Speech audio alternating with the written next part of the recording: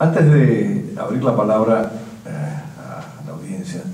en realidad eh, yo me encuentro con una especie de dilema eh, después de escuchar a Wolf y de escuchar a Federico. Yo creo que todos concordamos de que la noción de hemisferio, así como era concebida, ha ido desvaneciéndose, para decirlo menos, y más que nada ha ido resquebrajándose en términos de la aparición de otras instancias que pueden traer mayores costos o mayores beneficios, generalmente más beneficios, para algunos de los países de la región que la participación en un foro hemisférico, pero recordando siempre que el único foro de interlocución con los Estados Unidos que tiene la región sigue siendo la OEA. Este es un punto importante. Pero sí es cierto, yo concuerdo con las dos presentaciones en términos de la dilución de este concepto de hemisferio. Pero eh, en este marco eh, no quisiera hacer, frente a algunas de las cosas que dijo Wolf, de eh, policía malo frente al policía bueno, y cuestionar algunas de, de, los planteamientos en términos del optimismo con respecto a la dinámica regional. Yo creo que hay una,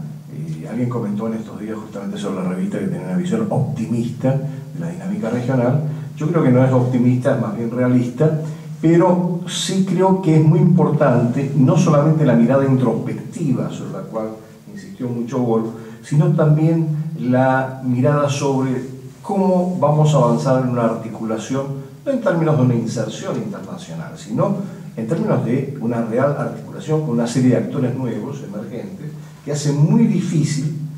organizar una agenda colectiva en el marco tanto de Sudamérica como de América Latina, inclusive teniendo eh, algunas instituciones en proceso de construcción, y debo señalar que son instituciones de muy bajo nivel de desarrollo comparativamente con otras, pero que están en proceso de construcción, pero que eh, de alguna manera no pueden terminar de articular los intereses de cada uno de los actores regionales en términos de su interés nacional específicamente. Entonces, cuando nosotros vemos que la CELAC se reúne con algunos actores externos, eh, como la última reunión eh, de la Troika Plus Uno eh, en, Brasil con China, precedida a su vez por otras reuniones y visitas a China, a la India, a la Federación Rusa, las cumbres con la Unión Europea. La pregunta es, bueno, ¿en realidad la CELAC logra articular un planteamiento colectivo o articula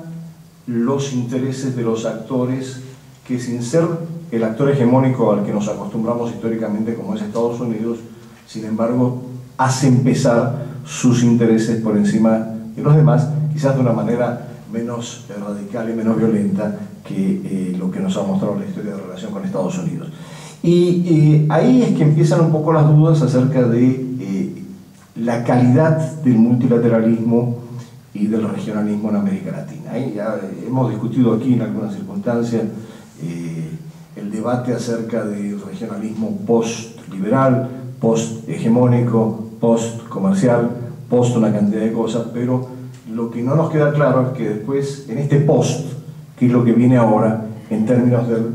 relacionamiento en el ámbito internacional. Por lo tanto, creo que es importante tener la mirada introspectiva y valorizar lo que se está produciendo en la región, pero a la vez es necesario pensar en cómo todo esto se articula con una dinámica eh, externa que muchas veces implica, como decía al principio, eh, la existencia de fuerzas centrífugas que desgarran, fragmentan o hacen cada vez más heterogénea la región.